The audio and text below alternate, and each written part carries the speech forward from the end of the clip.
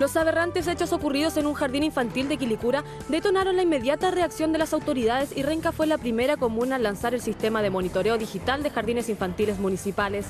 El seguimiento al interior de las aulas permitirá a los padres poder ingresar a través de cualquier computador con una conexión de internet y una clave a la sala del jardín en el que se encuentra su hijo para monitorear lo que ocurre en las dependencias del recinto. Lo importante del sistema de Renca es que la alcaldesa está haciendo una modernización que antes era propia de los jardines infantiles privados.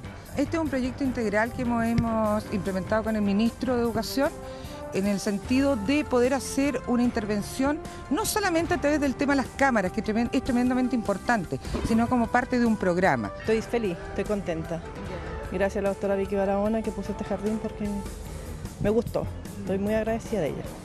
En Renca son seis los jardines infantiles que funcionan actualmente y todos contarán con un sistema de vigilancia, mientras que otros tres se encuentran aún en construcción para este 2011 y según la EDIL, estos también serán habilitados con el innovador método para desarrollar una política comunal de prevención y evitar hechos como los ocurridos en Quilicura.